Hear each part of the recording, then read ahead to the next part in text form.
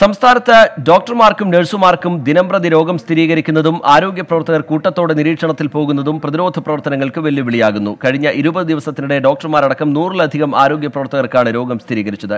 ആശങ്ക പരിഹരിക്കുന്നതിന് video conference വഴി ആരോഗ്യ വകുപ്പിലെയും തദ്ദേശ സ്ഥാപനങ്ങളിലെയും ജീവനക്കാരുടെ യോഗം വിളിച്ചിരിക്കുകയാണ് സർക്കാർ.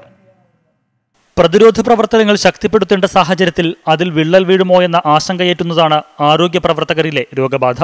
കോവിഡ് ചുമതലകളിൽ ഏർപ്പെടാത്ത ഡോക്ടർമാർക്കുൾപ്പെടെ രോഗം സ്ഥിരീകരിക്കുന്നത് ഗുരുതര സ്ഥിതിവിശേഷമാണ്. സംസ്ഥാനത്ത് ഇരുപത് ദിവസത്തിനിടെ ഡോക്ടർമാരടക്കം നൂറ്റിയെട്ട് ആരോഗ്യ പ്രവർത്തകർക്കാണ് രോഗം സ്ഥിരീകരിച്ചത്.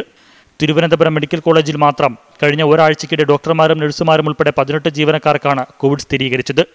ഇവരുമായി സമ്പർക്കം പുലർത്തിയ നൂറ്റി അൻപതോളം ജീവനക്കാർ നിരീക്ഷണത്തിൽ പ്രവേശിക്കുകയും ചെയ്തു. ഇടുക്കിയിൽ ഹൈറേഞ്ചിലെ ആശുപത്രികൾ അടച്ചിടേണ്ട സാഹചര്യം. കോട്ടയത്തും കോഴിക്കോടും മെഡിക്കൽ കോളേജുകളിലെ പല വാർഡുകളും ഇതിനോടകം അടച്ചു. തൃശൂരും എറണാകുളത്തും ഉൾപ്പെടെ നിരവധി ആരോഗ്യ പ്രവർത്തകർ രോഗബാധിതർ.